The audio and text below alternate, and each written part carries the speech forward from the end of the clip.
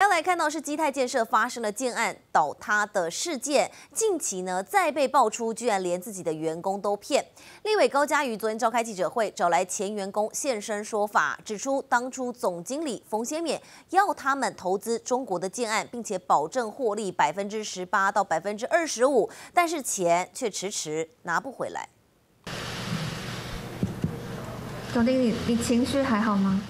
基泰建设总经理彭先勉面对大直建案坍塌开记者会，讲到一半哽咽落泪，但被立委高嘉瑜怒批根本是鳄鱼的眼泪，因为基泰居然连自己人都骗。招募我们哈，也包括了员工，也包括了外部投资人哈，招募我们呃投入这个大陆房地产的投资。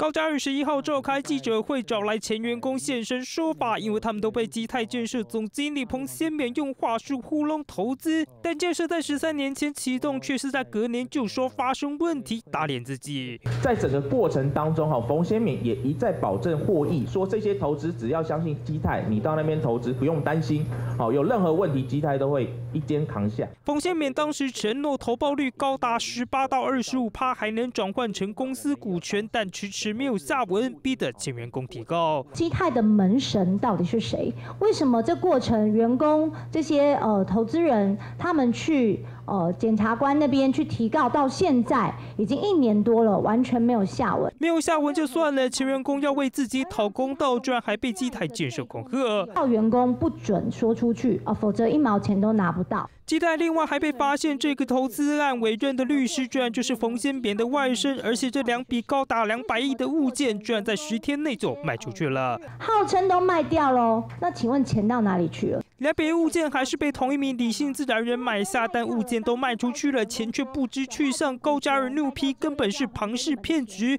北检则表示，基泰运用手法制造调查断点，基泰迷信有鬼。记者综合报道。